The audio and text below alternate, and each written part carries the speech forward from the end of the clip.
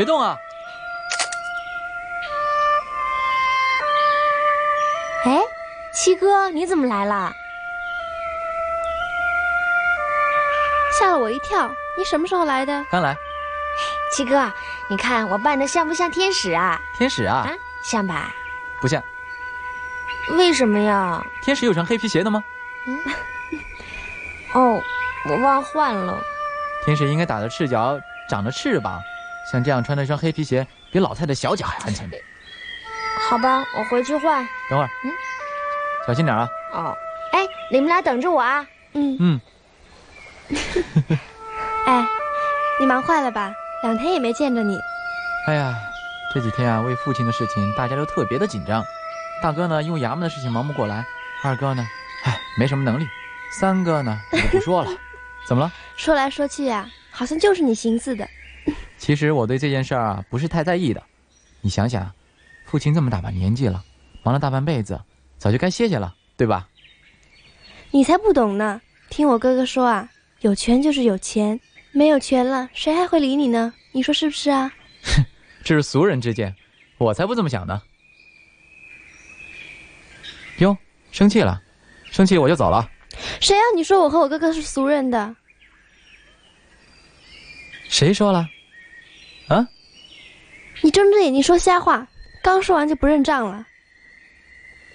我是说那些看重权和钱的人才是俗人。再说了，我怎么有胆量说总长的妹妹呢？哼。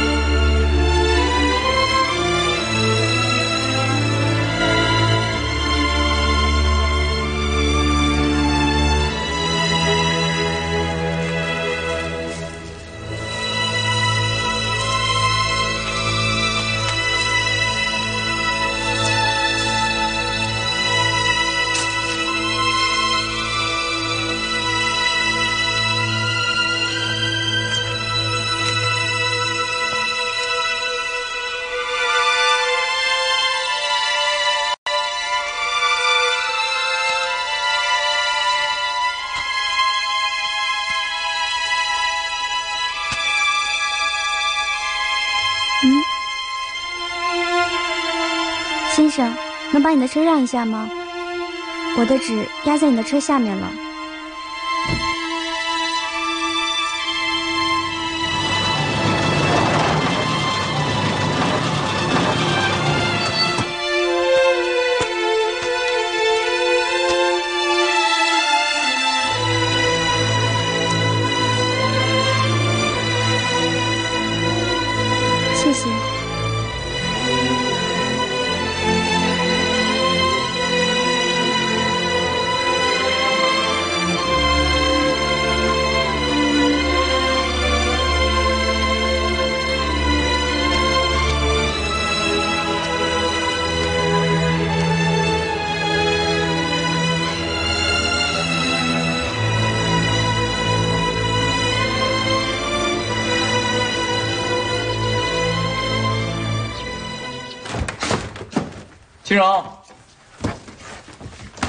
荣，哎，姐，哎呦，七爷哟，我的那顶帽子呢？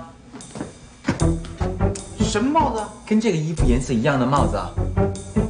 哦，绿帽子。对呀，在哪儿啊？您自个儿放哪儿了？您想想。我自个儿想得起来，还要找你干嘛呀？呃，对，那我帮您去找。去去去。哎，别别别啊！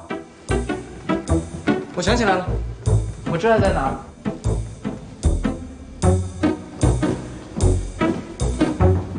大嫂，大嫂，你鬼鬼祟祟的干嘛呢？哦，我现在要找我那顶墨绿色的帽子，在您那儿吗？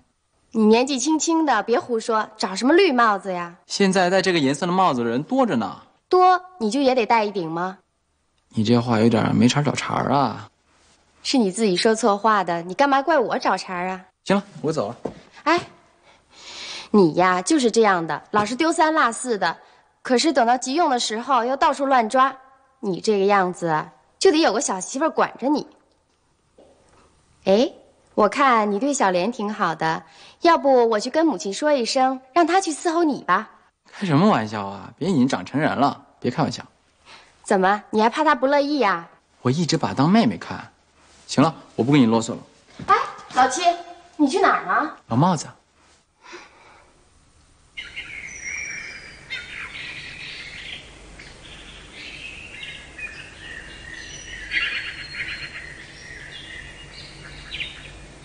小莲，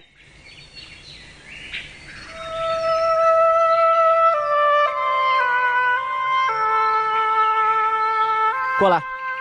什么事儿啊？我叫你过来，你竟敢不来？你有什么话就说吧，干嘛这个样子？我是说，你这件坎肩很漂亮。漂亮什么呀？这是六小姐给我的，都是两三年前实行的东西了，快成老古董了。不过你穿着真的很合身呢。哼。你来呀，就是说这个吗？不是，我来啊是想告诉你，你们家大少奶奶跟我说了，让你过去伺候我，知道吗？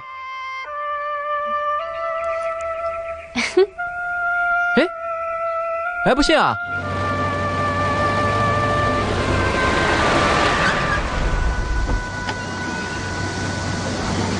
江儿，可把你盼回来了，父亲母亲。江儿，虽然不能像你父亲那样带兵打仗，可总是考了个进士回来，没给柳家的祖宗丢脸呐。江儿考的这个不叫进士，那叫学士。学士、进士，哎，都差不多，都差不多。快进屋。好，好。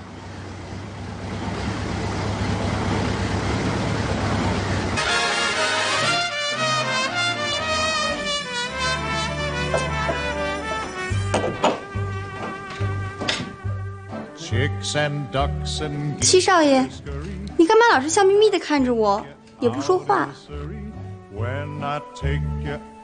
因为你好看呗。小心，待会让你的白小姐听到了，你可该挨打喽。哎，燕西，你今儿是怎么了？不是坐在这儿发呆，就是在这儿傻乐。就是嘛，是你把我们大家约出来的，到现在又不说话，都快把人给闷死了。哟。你还闷啊？哎，赶明儿你要是做了和尚，你就知道什么叫闷了。和尚这辈子我是没法当了，要当也只有当尼姑了。要是尼姑都像你这么漂亮，哼，我就把家给搬到尼姑庙里住去。哎，这不是尼姑庙，是尼姑庵。哎，不都一样吗？哎，燕西，干嘛去啊？到山上看尼姑去。哎，你不是开玩笑吗？哎，有这么多漂亮的姑娘，你非要到尼姑庵去看什么尼姑去？啊！我说的话什么时候变过？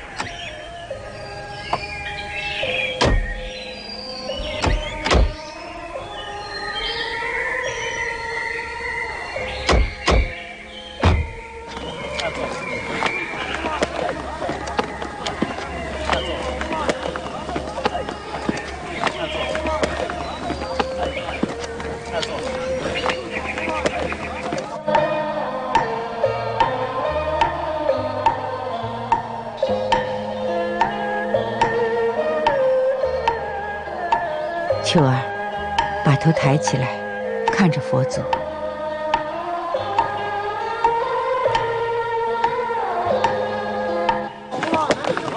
哎，累死我了，爬不动了，爬不动了。哎，你说你就不能虔诚点吗？还不够虔诚啊！什么时候爬过这么高的坡啊？其实我也走不动。哎，我现在走动了，再坐会儿。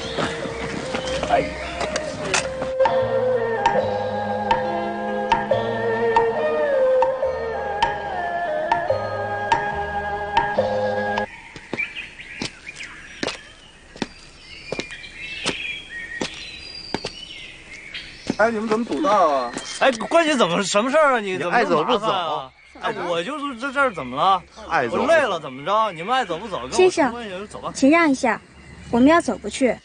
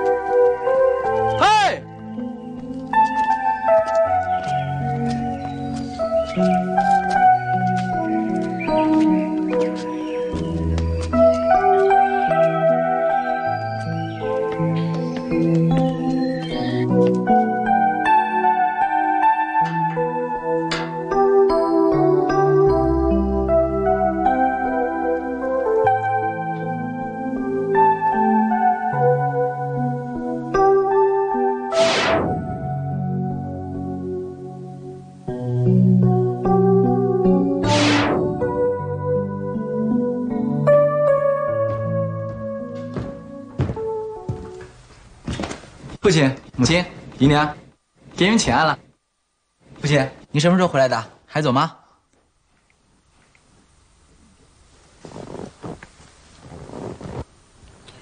你问这个干什么？我不回来，你们便可以随便胡闹下去，成何体统？哪儿啊？我们今天盼你还盼不来呢。行了，一回来就给脸色，要叫孩子们都怕你不成啊？你爸爸是不放心，回来看看，明日啊还得回香山呢。瞧瞧你这一脸疲倦样，没精打采的，怎么受欺负了？谁敢欺负我呀？我只是碰上仙女了。哼这越说越不像话了，哪能遇见仙女啊？北郊尼姑庵呢？你去了尼姑庵了？啊你真的去了尼姑庵？啊！这成何体统？一个堂堂金家少爷没事跑到尼姑庵里去，这要传出去，金家的颜面何在？这孩子，要想去拜佛啊，应该去寺庙里。尼姑庵那是女子们去的地方。得了，你原来不知道，现在姨娘告诉你，下次就别再去了啊。哎，还是个孩子，总也长不大。他都快二十岁了，还不如没力，整天到处胡闹，也不去上学。上次教你读的几本书，你读的怎么样了？都念了，父亲。那现在背给我听听。背，念还可以，背怎么背得出来啊？书那么长，要我背，我只能背书名。读书如果不背书，那读书有何用啊？嗯，你现在既然不愿意到学校里去，那么以后就在家背书。如果再出去胡闹，家法伺候。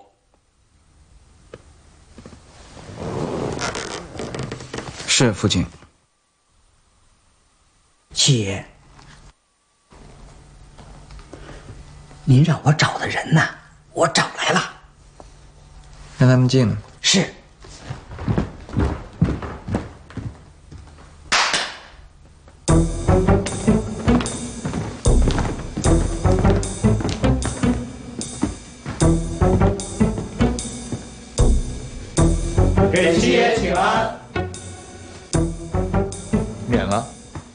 知道我为什么找你们来吗？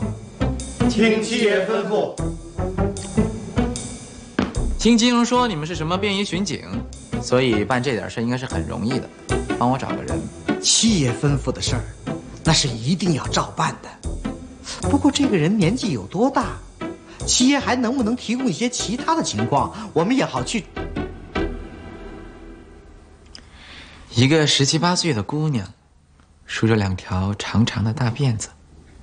你们都听清楚了啊！凡是梳大辫子的，一律不许放过，都给我登记。是是。哎，那大辫子，快快快！干什么？跟我走一趟。爷是这个吗？跟我走一趟。你干什么？走，跟我走。爷，你看那辫子。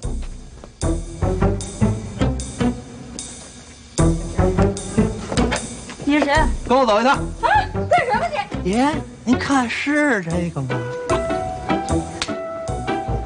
七爷，我们大北京的大街小巷，能去的地方我们都去了。我们现在查到的书变了的姑娘有六千三百四十七位，十岁以下的一共是一千一百零一位，十到十五岁的有一千三百一十二位，剩下的就是十五岁到二十岁的，二十一二的我们也找了几位，虽然都梳了辫子，但都嫁人了。拿我说笑是吧？找那些长不大的小妹妹干什么？可千万别忘了，把我的八妹也算上啊！八小姐是一定不能算上去的。如果想找八小姐的话，我们也用不着大张旗鼓的上大街上去找了。现在找的小姐，七爷要不要看一看？我们不知道七爷想看的是哪一位小姐。你这蠢货，你让我怎么找？挨家挨户找？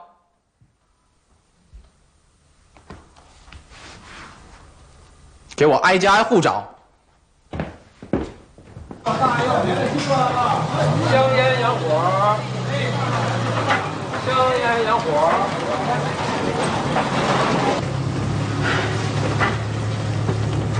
辫子，辫子，七爷，我这满脑袋都是辫子。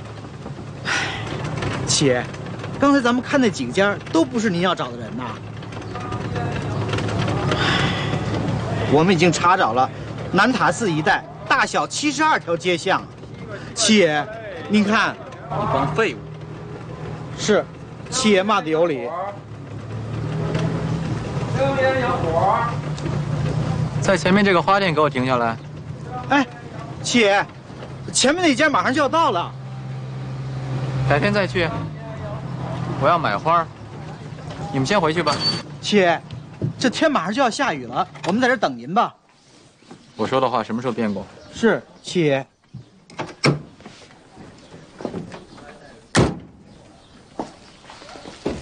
请问先生，您想要点什么花啊？啊，随便看看。好的，随意。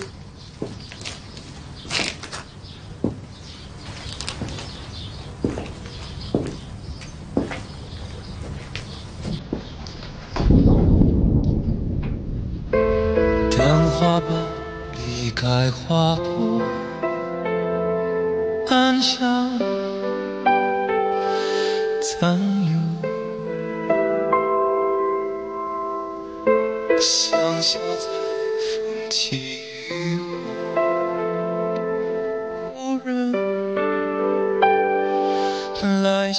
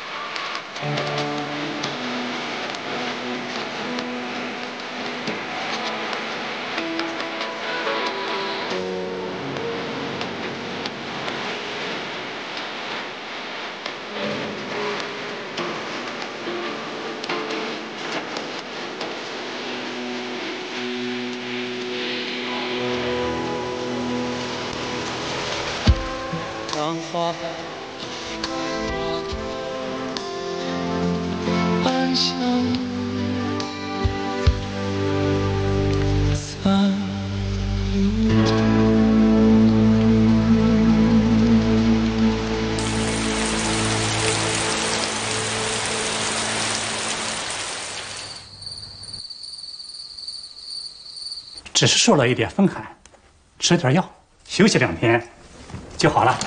多谢大夫，给大夫备车。是太太。金荣，你们这些下人的差事怎么当的？好好的少爷怎么就会染上风寒了呢？是太太，告辞了。谢谢啊。燕西，燕西，燕西，你怎么跑得这么快？到底是关系不一样。我要是病了，看你有没有这么着急。你这怎么了？我没事啊。都病成这样了，还说没事儿？妈，你来了。还有我呢。三嫂，谢谢。妈，咱们走吧。啊，我不就是生病一点点吗？你干嘛哭成那样？还不是因为你，人家担心你吗？我累了，想一个人待会儿。你走吧。好，我走。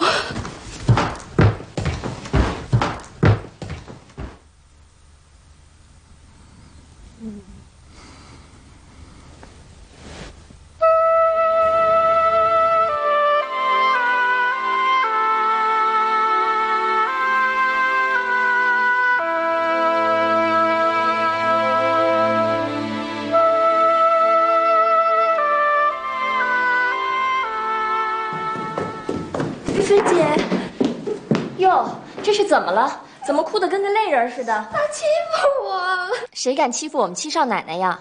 谁是七少奶奶？你现在不是，将来总是吧？谁要嫁给他了？他总欺负我。原来是老七欺负你呀！走，找他算账去。哎，现在别去了，他正病着呢。刚才还说人家欺负你，现在又心疼了不是？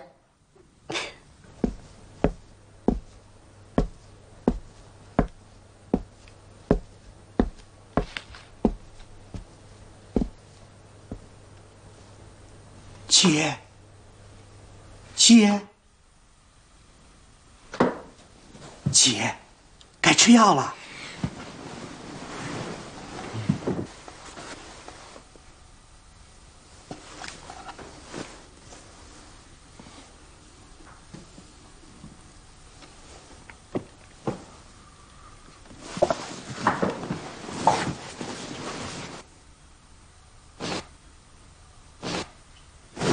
还在这干什么？吓我一跳！姐，太太吩咐过了，让我伺候您身边，不让离开。你存心让我不睡觉是不是？出去！姐，太太已经吩咐过了，不让离开。下去。是姐。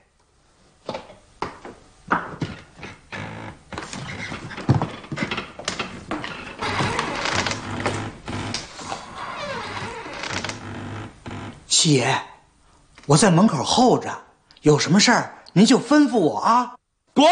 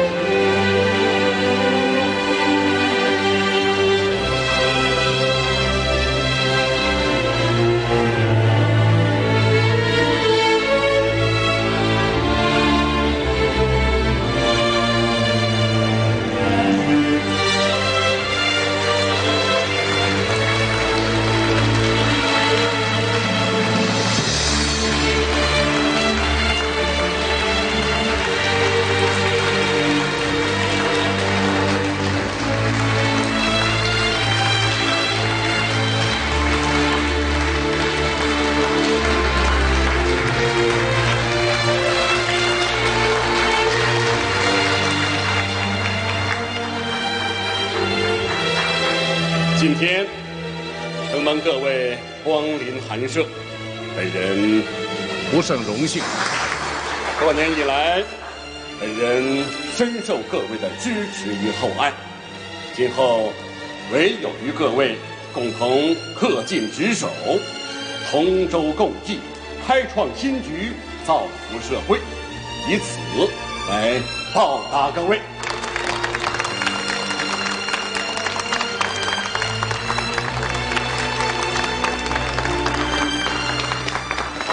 大家静一下。金总理为了答谢各位来宾的盛情，现在给各位来宾谢礼。祝金总理福如东海，寿比南山。多谢多谢，金总理健康长寿。多谢。柳夫人，这是贵公子吧？哟，长得这么斯文，这么漂亮啊！哎哎，这是犬子春江，哎，刚刚获得了医学学士学位。金总理好，金夫人好。金太太，金总理过寿，孩子们都来了吧？啊，我们家四姑娘跟她丈夫在日本，没来得及回来。怎么没见到贵府的七少爷？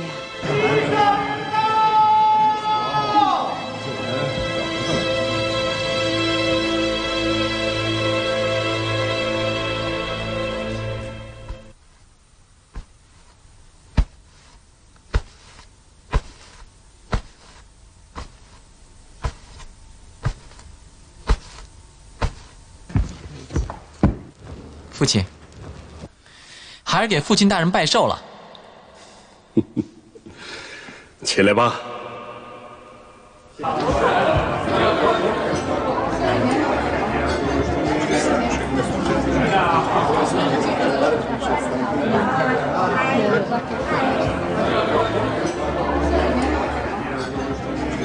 嗯，就知道。拿来，拿来拿什么来啊？你父亲的寿礼啊！我已经送了。你送给我什么了？父亲，我的一片孝心呢。对于你们这些有钱人来说，除了这个，我还能送什么呢？你呀，还不如八妹呢，人家多少还送了一碗长寿面呢。哟，长寿面，多大碗长寿面啊？这么大碗吗？这么俗气。你还不如我呢，除了嘴甜以外，你连俗气都没有。嗯，因为我穷啊，父亲，我穷的只剩下对您的一片孝心了。看你诚意有余的样子，免了吧。谢谢父亲。爸爸，不公平。嗯，嗯，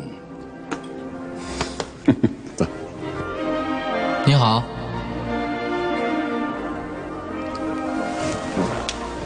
你好，好像我从来没跟你见过面。你叫什么名字啊？我叫柳春江，是柳云飞的儿子。啊，柳次长的公子，还在国外读书吗？不，我已经毕业回国了。哦，家父常常夸奖你的。哪里哪里，还是要跟燕西兄学习才是。看来今天客人们还都挺满意的。伯母请用。啊、谢谢。不用客气。秀珠姑娘想的真周到。哥哥呢？怎么没见他呀？我哥哥说他从部里直接到府上来。老七真是有眼力，找到白秀珠这样一个乖巧的女孩。表姐，你又取笑我了。哎，老七呢？他刚才还在的。老爷啊是最喜欢他的，说像他年轻的时候一准有出息。金老爷和您调教出来的，还会有错吗？瞧他这张小嘴儿，说话多甜呐。抓紧他。伯母放心，我们很好。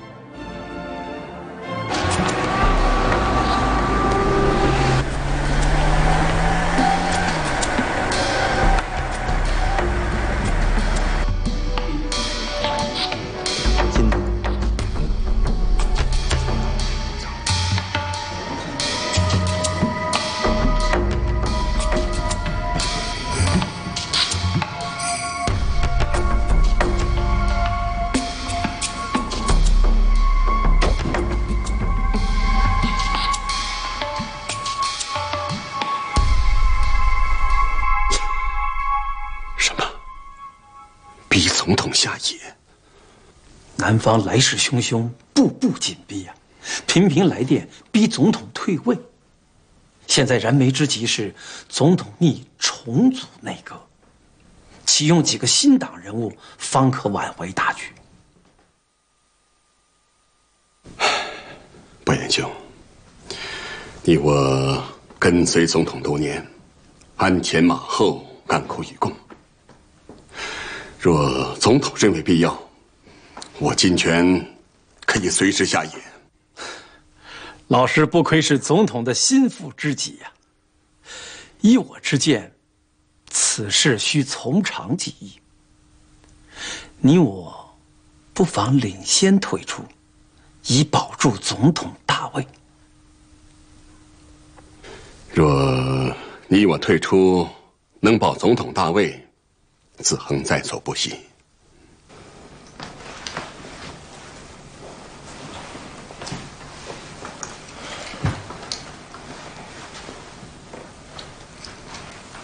晚了，老爷子还不回来？这一朝天子一朝臣呢，要是总统下了台，那老爷子总理还能当下去吗？这以后的日子可怎么过呀？这有什么？大不了我们各房自谋出路罢。二嫂说的是，那百姓怎么过的，咱就怎么过，反正饿不死就是了。你们说这些话也太早了吧？也许爸爸根本就没有事情，就你们在这瞎操心。喝过洋墨水的人说起话来就是不一样，感情五妹有的是积蓄，不愁吃不愁穿的，找哪门子急呀？三嫂，我招你惹你了？你干嘛说话句句带刺？干嘛挖苦人呢？我说什么了，五妹？这怎么就把大小姐给得罪了？得了，都什么时候了还吵吵，都少说两句。在朝的官员啊，又将大改组了。各房在衙门都没有职务，唯独老七和八妹，还没有着落。其实这几年时局那么不稳定，甭说总统频频的更换，单总理这位子三年换了五个，咱爸也是第五个了吧？所以我觉得不做总理也挺好的，就让咱爸引咎辞职，总比别人催他下台光彩多了，省心啊！胡说，不当总理你去喝西北风啊？你爸这次看来是躲不过这场大劫了。您放心，到哪个山头啊，咱唱哪支歌，咱们家还不至于揭不开锅吧？爸爸非等闲之辈，哪能那么容易被别人打败？你们想的也太多了。妈，你就别担心了，一切都会过去的。凤菊啊，都这么晚了，你爸还没回来，你是不是出去打听打听啊？好的，母亲，我这就去。我们一起去吧。妈，我也一块儿去吧。我要跟你们一起去。哎，燕西留下来陪我，你们哥几个一块儿去，互相之间还有个商量。好，走。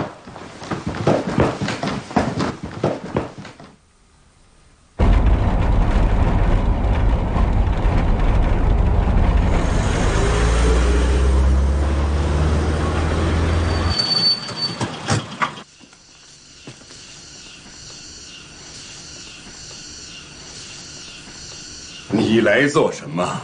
我来看看你啊。你还是回去吧。子恒，留得青山在，不怕没柴烧的道理，不用我这妇道人家多讲。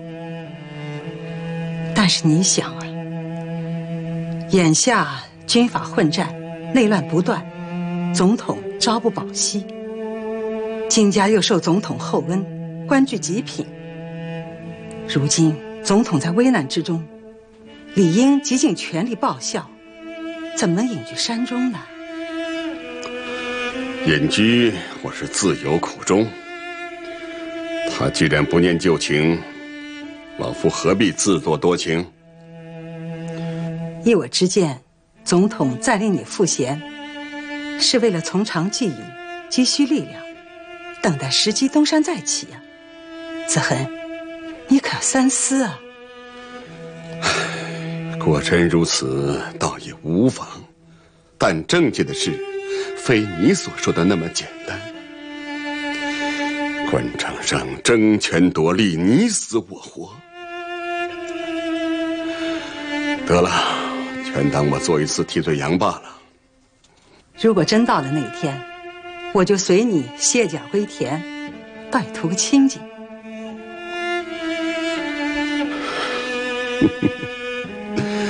真是知夫莫若妻呀！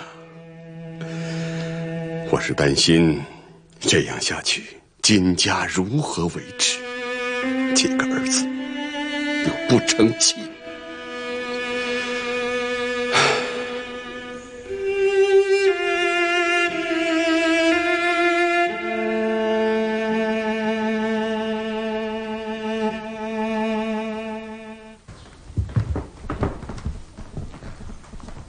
姐，哎，哎呦，吓着您了。一惊一乍，姐，我打听出来了，打听出什么来了？那个姑娘姓冷，冷什么？冷，冷，冷，想啊，冷。哎，反正我打听出来了，她在人人女中上学。人人女中啊，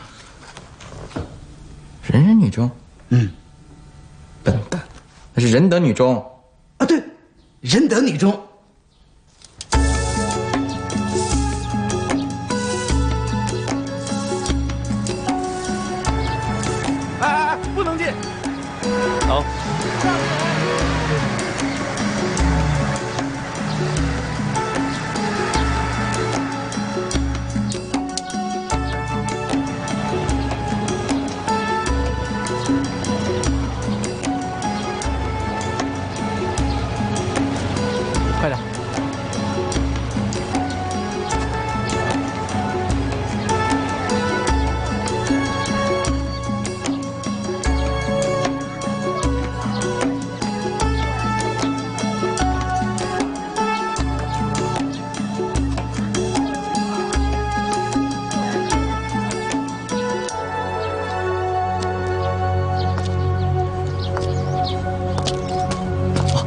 先生，请问您贵姓？您找谁？我是谁？有那么重要吗？啊，那是当然。不过，我们这是女子学校啊。对啊，我就是来找个女学生。哦，她叫什么名字？我知道了，还用找吗？哦，这就不好办了。我们这儿有好几百学生呢，你叫我怎么找啊？那容易啊，那就一个一个的找，我就不信找不着。哼。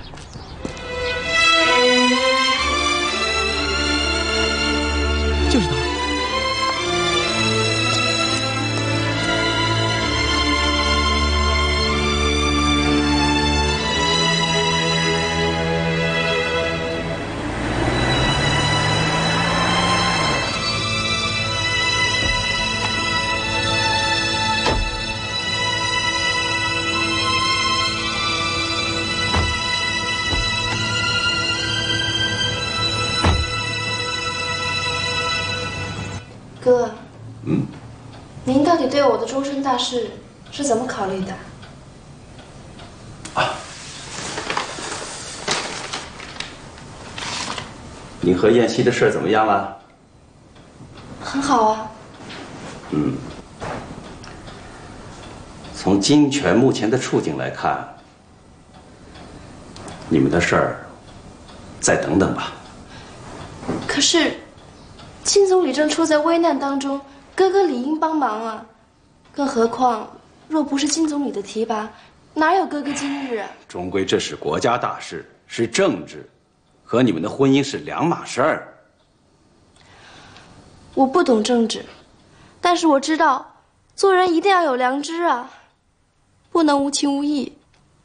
你也来教训我，整天就知道玩乐、花钱。那照你这样说，我是一个整天只知道吃喝玩乐的寄生虫了，我是个多余的人。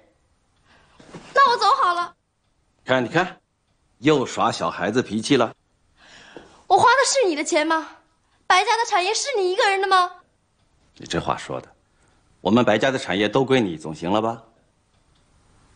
我怕误了你的终身。金家的忙，我是要帮的。再说，金泉和总统的关系也不是一天两天的，他目前只是暂时停止，堵堵反对派的嘴而已。我看，很快他还要官复原职的。那要是总理他复不了职呢？那你们的事就就怎么样？就再等等。为什么？我说了你也不明白。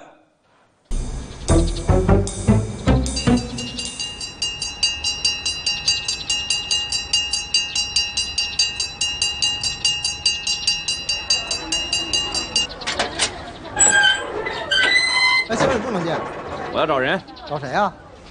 你管我找谁？我就不让进。我们家少爷要找人。不能进，不能进。你让不让进？你荣，你这么没规矩，不办正事儿了？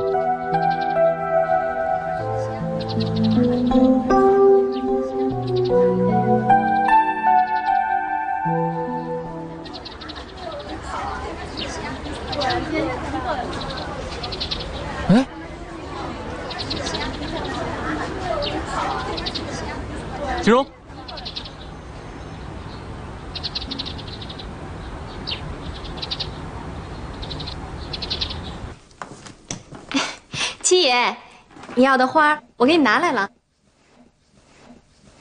哎，七爷，你怎么一个人在沙发上发呆啊？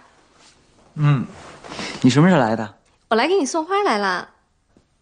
哎，你怎么只有一条辫子？为什么不梳两条辫子？穿蓝色上衣，黑色长裙，那就更好看了。七爷，这大白天的，你说什么梦话呀？人家一直都是一个辫子的。那我帮你的忙，梳两条辫子，再梳一条辫子，来。哎，来哎呀，哎呀，七爷，你越闹越没样了。哎，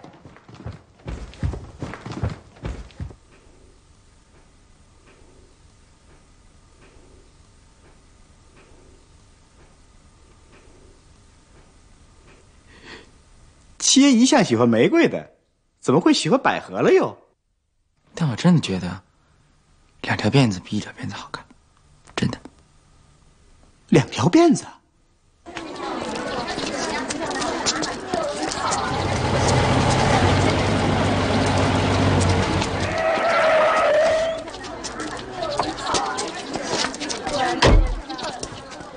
我没有吓着你吧？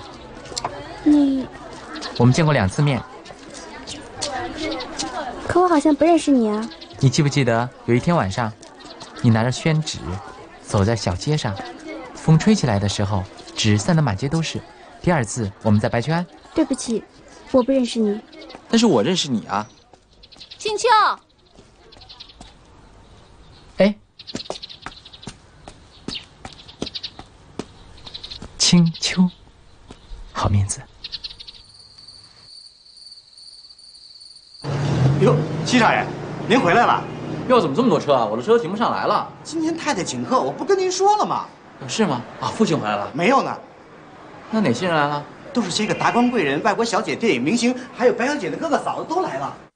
当然了，秀珠妹妹和我们家老七那简直就是天生的一对儿啊！怎么连大嫂也拿我寻开心呢？我呀，最愿意听这个了。嗯，我可说到你心里去了。哎，燕西今年有多大了？哎，秀珠姐姐，你属什么呀？你好像快过生日了吧，秀珠？哎，是。哎，吴姐，我跟你说吧，那天我七哥给我讲了一笑。七爷，邱小姐，请进。哟，真是难得啊，请坐，请坐。邱小姐好长时间不到我这儿来坐了，真是难得啊。有没有拍什么好的电影，我可以去看看呢？没什么好片儿，都是一些抄袭好莱坞的烂片儿。是吗？七爷，你猜我今天是来做什么的？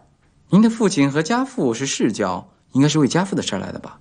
不过不知道这么晚了，您到我这儿来做，是不是要我帮什么忙啊？听说七爷家有很多杂志，我是来看看的。杂志啊，我这儿多的是，过来看看。这儿有一些，这儿也有一些，随便挑吧。七爷很用功，还研究科学。哎呦研究什么科学呀？只因为这些杂志和书啊，有些好看的图片，我就订了一份。嗯暂借我几天，过两天差人给你还回来。邱小姐，你喜欢就留着嘛，干嘛说还回来的话呀？那可不行。我虽然不是什么读书人，但是读书人的脾气我还是知道的。你借他别的什么东西不还，那都没关系。若借了他书不还的话，他一定是很不高兴的。你说对吗，七爷？您就别寒碜我了，邱小姐，你千万别把我当读书人看。我这儿的十本书，倒有九本是丢的丢坏的坏，索性就不问了。七爷说的当然是实话，但是我还是要还回来。好借好还，再借不难吗？那随您的便吧，邱小姐。啊，不早了，十一点钟了，我该回去了。我来送你。哪敢劳您大驾啊！待会让白小姐看到了，她又该多心了。怎 么会呢？我已经看见了。白小姐，你好。秀珠，什么时候来的？怎么，我不该来吗？我没有说你不该来啊，我是问你什么时候来的。我该来的时候来的，该看见的我全看见了。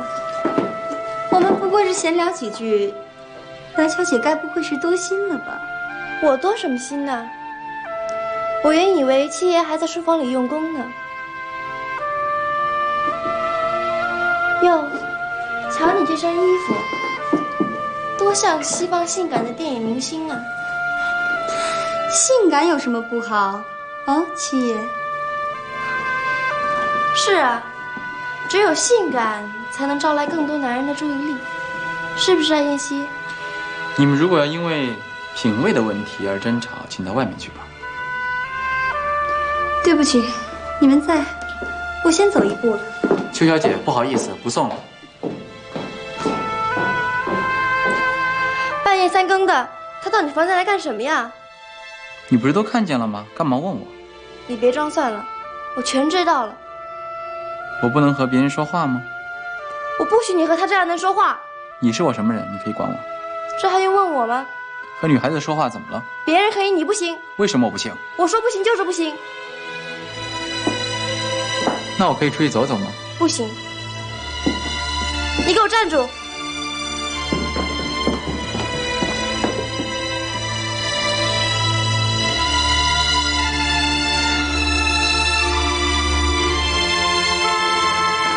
秀珠，秀珠，等等，准又是老七惹他生气了。没办法，总耍小姐脾气，哪个男人都受不了。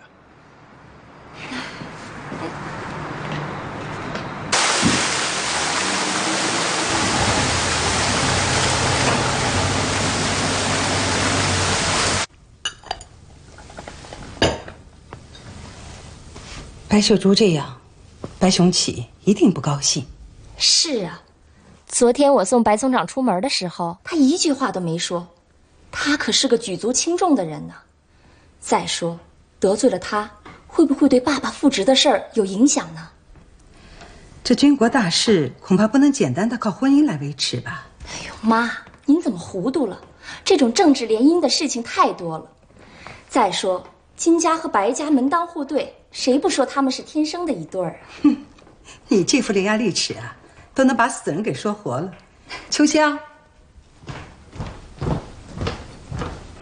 去把老七给我叫来。是太太。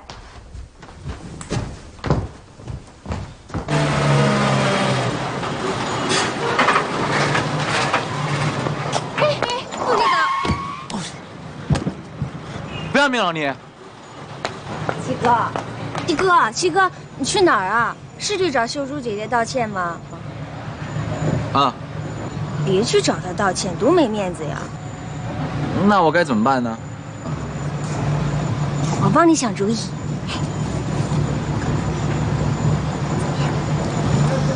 好是好，妈那儿怎么说呀？妈呢？那您只能自己去应付了。哎，但是不能去道歉啊！那当然。走。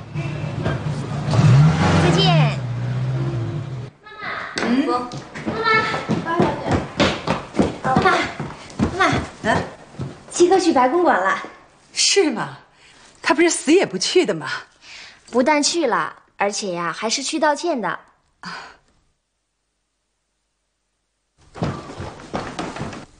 妈，嗯，三嫂好像在给秀珠姐姐打电话。哎，喂，秀珠吗？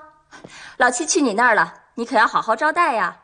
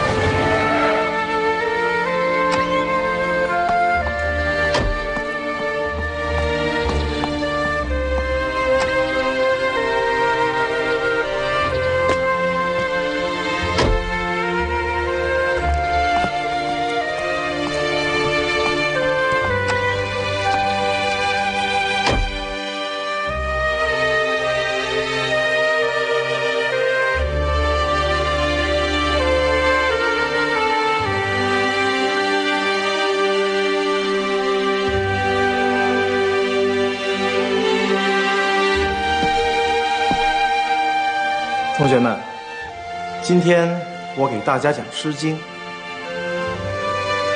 绿草苍苍，白雾茫茫，有位佳人在水一方。”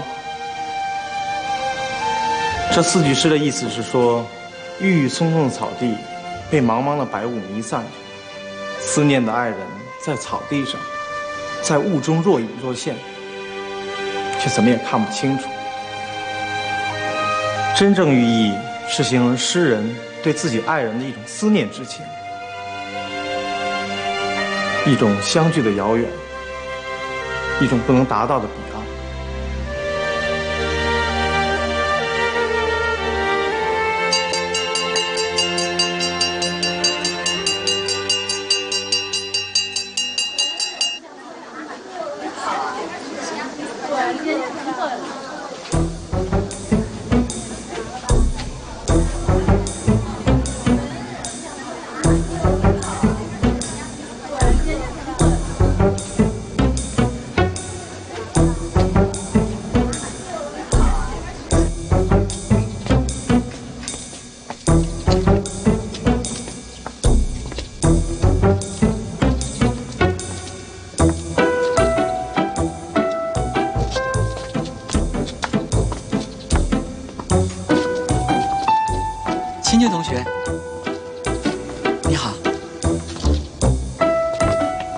同学，冷同学，欧阳老师，停车！哎，清秋，有坏人来追我。上车吧。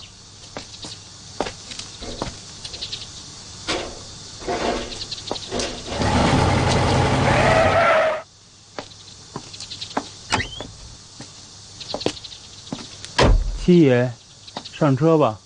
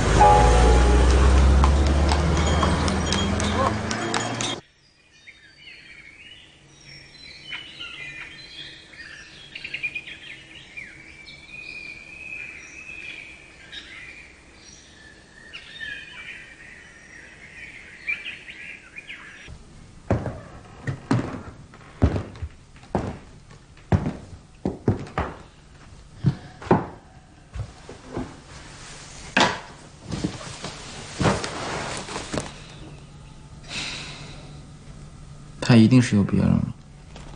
有人啊？谁呀、一男的，跟他坐一辆车走了。嗨，我当是什么事儿呢？现在呀，讲究。哎呦，哎呦，七爷，您回来了。你睡醒了？是啊，是啊，呃，嗨，这社会上啊讲究男女公开的交往啊，两个人坐一辆车上，这不算什么。何况，谁能比得上七爷您呢？甭说别的，您在冷姑娘身上，这花了多少心思啊？啊，您说是不是？想个法子，查查这男的是谁。他根本就没到这儿来，你又骗我。不过我绝对不会放过他。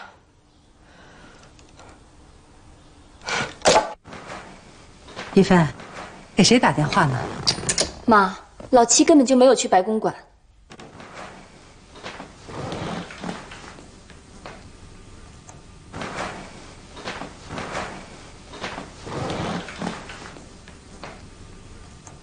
你去白公馆道歉了？嗯。白小姐原谅你了。嗯。你出口就是谎。你到底到哪去了？妈，我心里难受，所以随便转了转。你对金家有没有点责任心啊？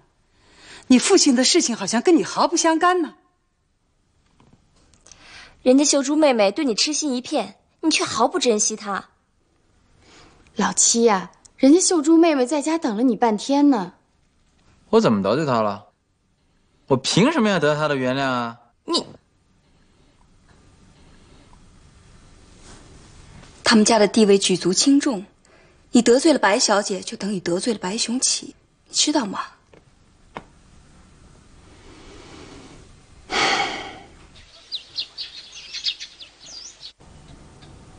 小姐，小姐，小姐，谁让你进来的？太太让您下楼去吃早餐，我在屋外面叫了你好多声。可屋里没人应，我就进来看一看。你知不知道没有我的允许不准进我的房间？小姐，我错了。可太太她让您下楼去吃点东西，我不去就是不去。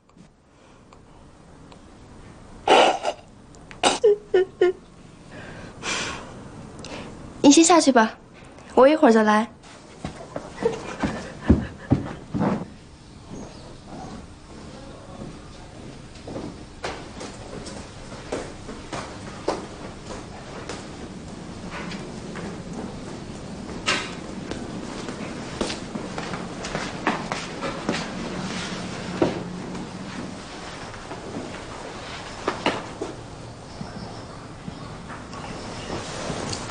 是谁惹我们妹妹生气了？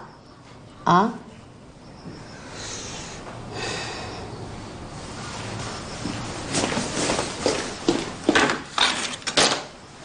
你把他的名字告诉我，嫂子就拿你哥哥这把军刀冲着他。嘿，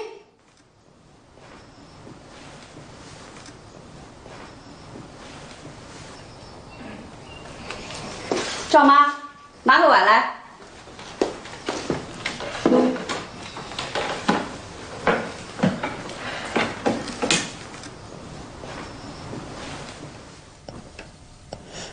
这是干什么？妹妹一下流了那么多的眼泪珠子，掉在地下多可惜啊！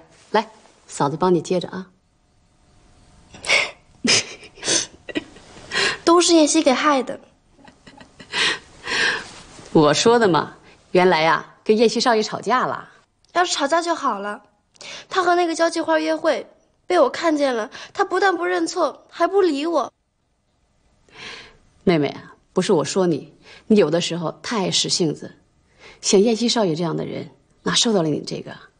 他跟我在一起还要什么面子不面子的？我不就说他两句吗？有什么大不了的？这就伤他自尊心了。这你就不懂喽。你们两个人关系越亲近呐，你就更应该尊重他。你每天对他都这么凶，特别像燕西少爷这样的人，在金公馆上上下下，谁不宠着他呀？你这样对待他，他哪受得了吗？更不敢娶你回家喽。不娶就不娶，谁要他娶我了？你 呀，就是嘴硬。有本事你别哭哦。太太，您的电话。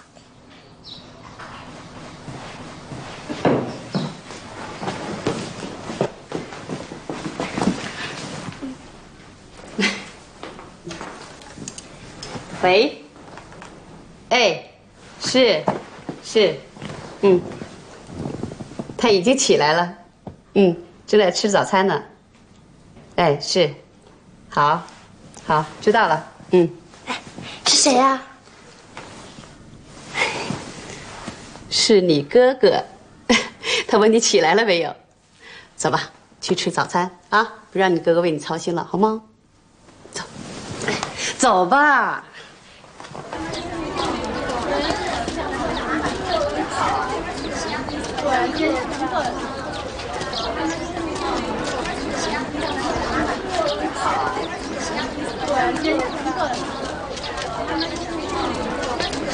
七爷我记住。了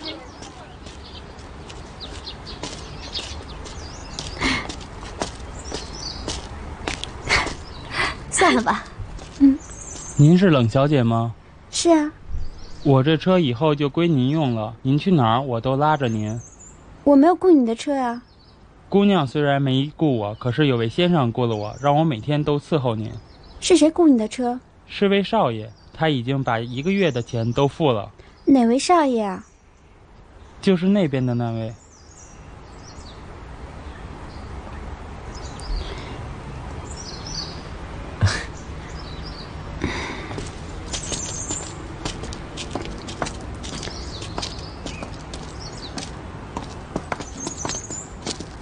秦小姐，这辆车还满意吧？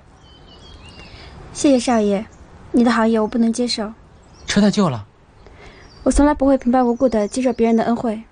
我看你每天走路这么辛苦，租一辆车对我来说不算什么的。对于你们这样豪门公子，租一辆车也许是件小事，但是对我们这样平常人家的学生却承受不起。请你收回你的车。我是出生在比较富裕的家庭，可是我不知道你说的豪门公子哥是什么意思啊？公子哥就是像你这样的，仗着家里有些权势，以为花几个钱就什么都可以买到的纨绔子弟。我对你一片好心，你干嘛这么说我呀？谢谢你的好心，但是我不能接受。哎，你你的照片。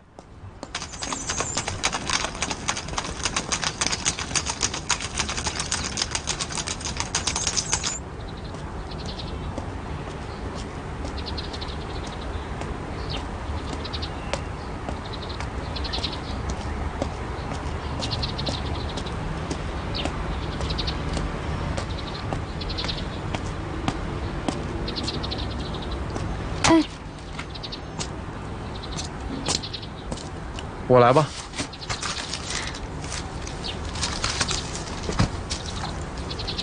给，嗯谢谢欧阳老师。上课去吧。嗯。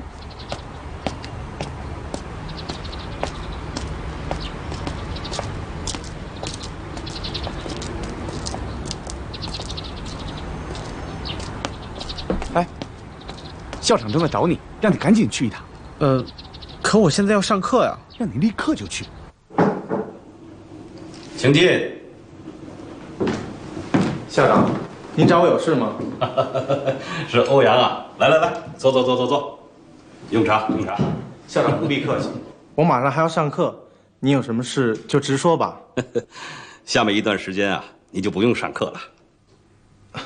我不太明白您的意思。意思很简单，学校准备放你一段假。哎，咱国文课的新老师长什么样？不知道，你到底原来老师干嘛了？也不知道这位老师严不严。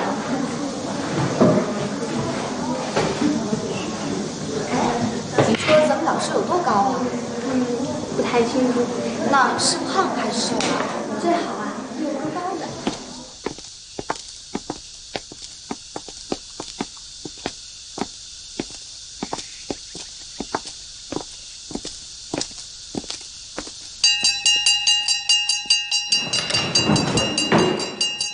同学们，欧阳于坚老师因故需要休假，现在学校给你们请了一位新老师，今后他给你们上国文课。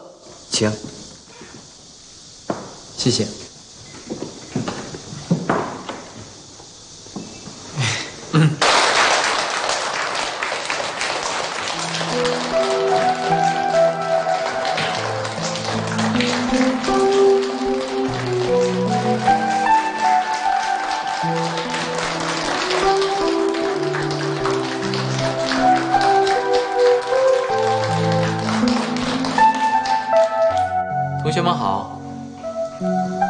现在先点名：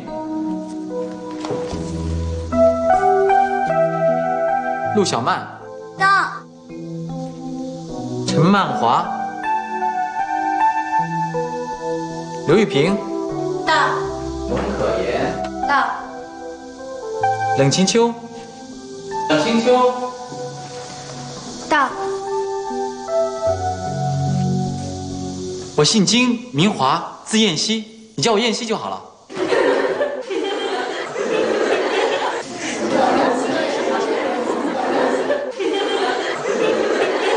同学们我是第一次做代课老师还请多多关照。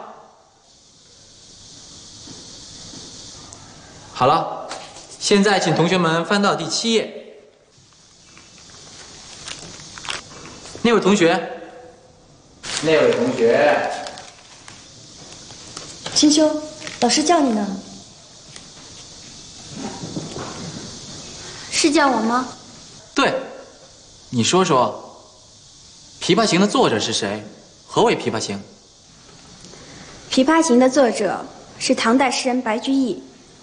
元和十年，白居易一任九将军司马。第二年秋天，送客到浔阳江头。白居易听到有夜弹琵琶者，闻其音铮铮然有京都声。经询问，弹琵琶的本是长安歌妓，年长色衰，嫁为商人妇。白居易虽命酒，请他快弹数曲，语调感动了满座宾客。啊，好了。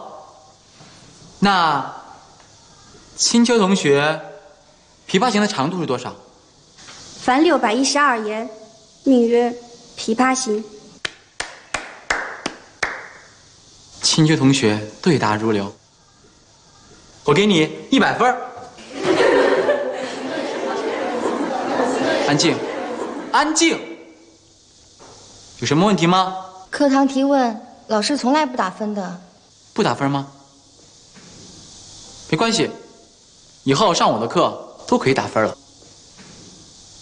同学们对新诗有兴趣吗？啊，有有。还是请青秋同学回答。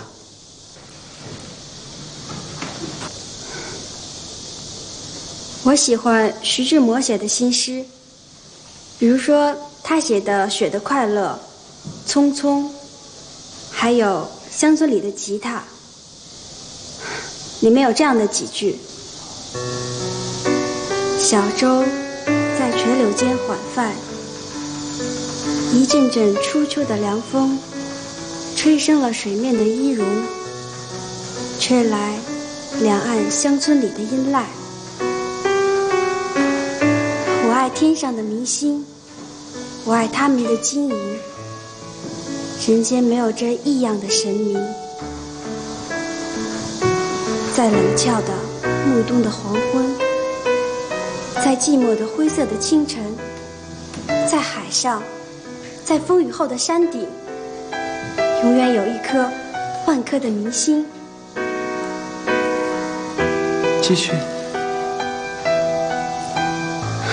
老师，啊，太好了，太好了！青秋同学。给我们以美的享受，他对诗的感觉，犹如诗人在自己抒发感情。好，好了，今天下课之后，大家回去写一首诗，明天交给我。我们学校能取得这么好的成绩，除了咱们全体同仁的共同努力之外，那都是全仰仗金少爷。在教育部的美言呢，他对我们学校的贡献实在是太大，包括你这次外出，所有的费用也是金少爷资助的。学校既然让我放假，这假我一定要休。不过这钱我不能收，还请您还给这位金少爷。这是金少爷亲自点名给你的费用，你让我还给他。那怎么能行呢？我是个微不足道的人，我也不希望得罪这位金少爷。不过，君子不受嗟来之食，这钱我不能要。我看还是由学校自行处理吧。校长如果没有别的事，我就先告辞了。青秋，冷青秋，青秋，哎。想什么呢？我这么喊你，你也听不见啊？没想什么，你这丫头也是，总是疯疯癫癫的，不怕别人笑话。有什么好怕的？反正过几天我就嫁人了。哎，你干嘛不怕羞啊？天天都是什么嫁人嫁人的，真是的。哎，那不是咱们新来的老师吗？啊？你看他的衣服穿的真讲究，人长得也挺帅的。听说还是金总理的公子。哎，鬼丫头，过两天可要嫁人了，你这样注意一位先生，好像不太好吧？哎，他可是我们的老师，我当然要注意他了。狡辩。